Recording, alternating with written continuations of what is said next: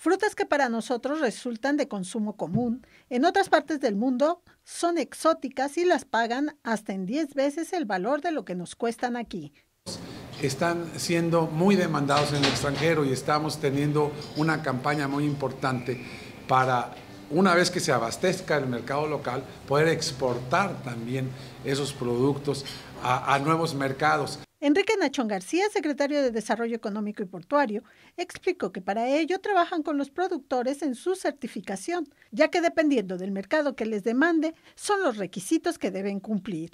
Veíamos ahí que más de 180 empresas en estos cuatro años que llevamos las hemos certificado y están exportando eh, y, creo que también es... Eh, de los productos certificados hechos en Veracruz se está exportando ya una sangrita que está muy bien reconocida, se está exportando una cerveza que es artesanal, eh, muchas salsas. Vainilla, moles, el café veracruzano, que es la bandera en el mundo, así como de entre las frutas, el limón, mango, piña, naranja y aguacate, son algunos de los productos que tienen demanda en el extranjero. Berta López Aguayo, RTV, más noticias.